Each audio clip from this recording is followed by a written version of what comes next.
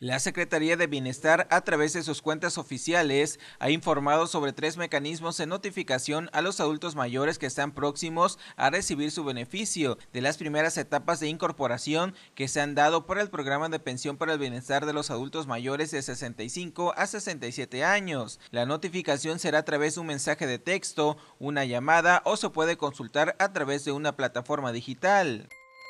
Hay una página donde se está, se está compartiendo porque ahí le indica el lugar, este, fecha y hora de la entrega de su tarjeta, de su medio de cobro.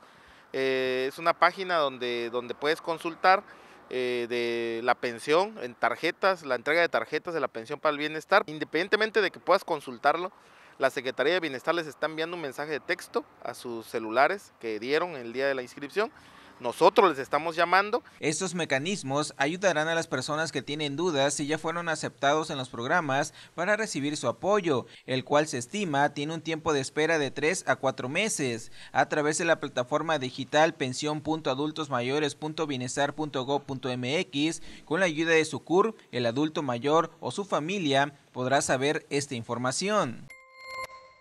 Es muy sencilla, solamente requieren eh, ingresar su CUR a esa plataforma, eh, el sistema automáticamente les arroja el lugar, la fecha y la hora en que les será entregada su medio de cobro. Si no les arrojara nada es porque todavía no está programado su entrega de tarjetas. Martín Bolaños Martínez declaró que hasta el mes de diciembre, en los 17 municipios que atiende con cabecera en Santo Domingo, Tehuantepec, se han entregado más de 1.400 tarjetas a adultos mayores que ya han sido incorporados exitosamente a este programa, por lo que se espera que en próximos meses se duplique la incorporación a este programa.